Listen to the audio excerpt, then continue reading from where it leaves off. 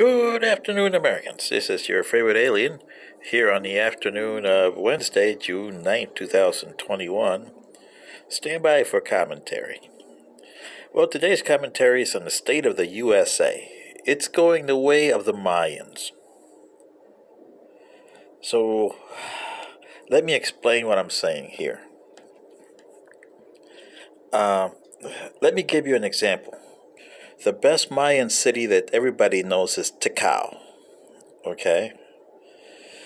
And Tikal is the biggest, the strongest of all the Mayan cities ever were. And also the most corrupt, and the most inept, and the most everything. Tikal was it. I think at peak in 800, it had 200 and some thousand people in it. That was pretty good for that area there, you know. Wow. And it uh, would have tributes from its surrounding city states. And if you didn't pay tribute, well, they went over there in war and they would bring you in here and uh, uh, bury you and the thing here as in that captive when they took your heads off or hearts or whatever, you know, in there. But what happened to Tikal was it was hungry for money, it was hungry for power, and it was hungry for prestige. Doesn't it sound like the USA? They did things for money, not because they needed it, just like the United States here. Your technology, it's done for money, not because the people need it or what.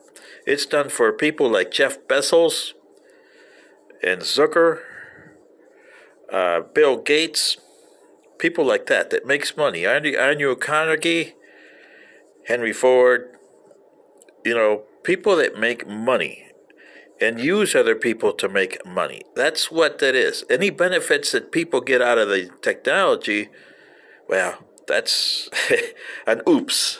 And that's the way that Tikal was and mostly all the other Mayan cities. What happened to Tikal?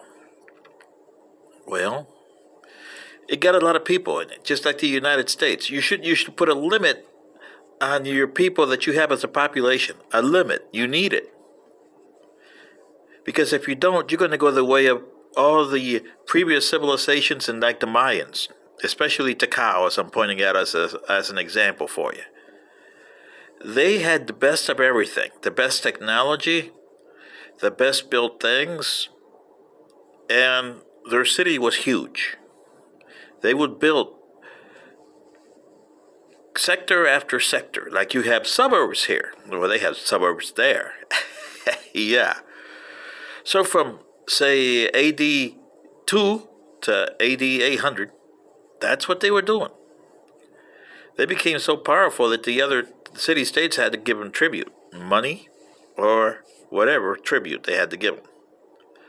Like the United States, well, you give money away to other countries because you want to pursue your values for other countries. The only problem is you don't pursue your values in your own country. and therefore, you're heading for disintegration, just like Tikal was. Tikal had a good aqueduct system, a good road system, in fact, it was at par with Rome. It had the best things that the Romans had. But it had corruption, just like Rome did. Uh, it had uh, people that wanted power, like the Romans did. So there was killings like the Romans had. It's like the United States over here. You have the Democrats and the Republicans who only see one eye and it's theirs. They don't see the thing through the eyes that you should see it like I said in other videos before, the, the people from Tikal, the rulers, only saw one light. Just like the Republicans only see one light, and the Democrats only see one light. And the with issues is you have to see them the way it is. Some issues are left, some issues are right, and some issues are center. And you have to deal with them accordingly. The Tikals never did that. You guys have never done that. You guys have squandered everything from your previous administrations and restart over and do it again and then cause a problem for the administration that comes next. And here you're paying the price 244 years later because things are coming due. And that's what happened to Tikal. The climate changed. The people didn't want to pay tribute anymore. And it couldn't get enough to sustain its own population because it was growing. The United States, you don't have a limit on the population. You don't have a way to sustain your population in times of bad. And that's what happened to Tikal and the rest of the Mayan cities. By 850 AD, Tikal was a ghost town. Is that what's going to happen to the territory of the United States? A ghost town? Or it was when I visited you in 2066, it was a ghost town. You had states that, uh, because of your climate change problems between 2030 and 2050, oh boy, you guys had a heck of a lot of problems. anyway, you won't listen to this alien, so this is what I'm saying. You're heading down the same path as the people from Tikal in the Mayan city of Tikal ended up. 850 years and nothing to show for it.